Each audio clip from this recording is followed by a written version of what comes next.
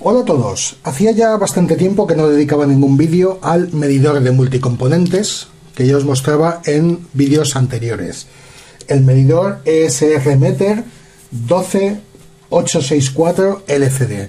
El mismo ya visteis que lo coloqué en una caja de montaje y nada, una utilidad, y ya digo, una utilidad muy muy interesante que tiene el mismo es que nos puede proporcionar el voltaje de trabajo de los diodos LED. Conectamos un LED a dos de sus terminales. Yo he sacado un cable aéreo de los terminales 1 y 2 del medidor. Por lo tanto, cuando pulsamos podemos ver si el diodo está en buen estado y el voltaje de trabajo del diodo, en este caso el amarillo, es de 2,03 voltios. Por lo tanto, para el cálculo del LED, para eh, calcularle la resistencia para un circuito, sabremos que ese voltaje es el que tiene. Otra utilidad que nos da el montaje es que en el momento de ponerlo en test, el LED flasea, tal como veis. Por lo tanto, tenemos una medida, o sea, una apreciación visual directamente de que el LED está funcionando. En este caso el rojo es de 1,98 voltios. Vamos a probar un tercero y veremos qué tal funciona. Igualmente hemos visto el flasheo que ha. Vemos que el verde es de 1,99 voltios, por lo tanto podemos calcular perfectamente, sabiendo ese voltaje, su resistencia adecuada y podemos comprobar si los LED funcionan o no funcionan. Vamos a ver un azul que no funciona, ya directamente vemos que no flasea y el aparato nos da una medida en resistencia de 45,9 ohmios. Por lo tanto, este LED está cortocircuitado, está derivado, en lugar de ser un semiconductor ha pasado a ser una resistencia, a conducir en los dos sentidos, por lo tanto LED averiado ya que nos aparece que es una resistencia. Hacemos la prueba con otro de los rojos, que también está averiado. Igualmente no flasea.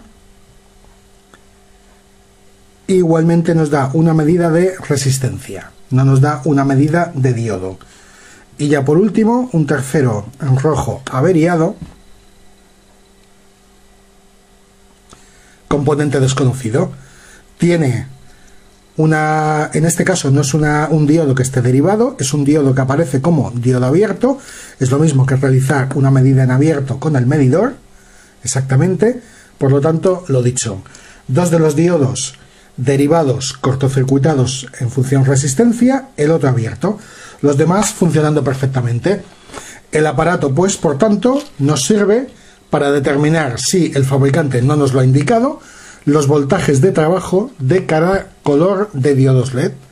He estado entreteniéndome en ponerle a los diodos de la caja, comparando dos o tres el voltaje de trabajo de cada uno, y es mucho más fácil ahora, a la hora de realizar el, el cálculo de la resistencia saber los voltajes ya directamente.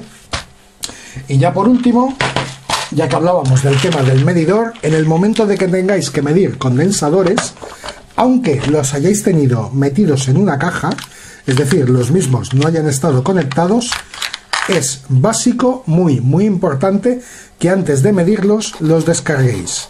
Cortocircuitéis sus terminales. Ya os lo comentaba, por no haber cortocircuitado los terminales de un condensador que probé, el medidor se ha averiado. Una vez averiado el medidor, no tiene reparación posible. He intentado cambiar diversos componentes de la placa en SMD y ninguno era. Por lo tanto, avería del microprocesador, no hay reparación posible para el comprobador. Es un comprobador de muy bajo coste, de apenas unos 10 euros, 11, incluso están bajando cada vez más de precio.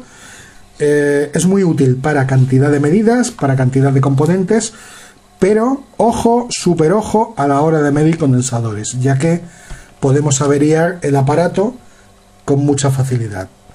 Vamos a comprobar una vez descargado este condensador que es de 47 micros, 350 voltios, y nos da una medida de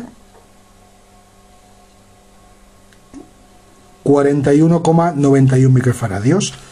Es de 47, nos da 41,9, casi 42, por lo tanto estaría dentro de la tolerancia de este condensador, estaría funcionando perfectamente.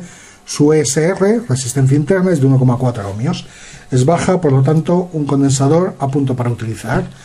Pues nada, espero que os haya servido esta utilidad más de la comprobación de diodos y cómo hay que hacerlo en el ESR Meter 12864 LCD. Y lo dicho, espero que os sirva de utilidad y aprendamos todos un poquito. Saludos para todos.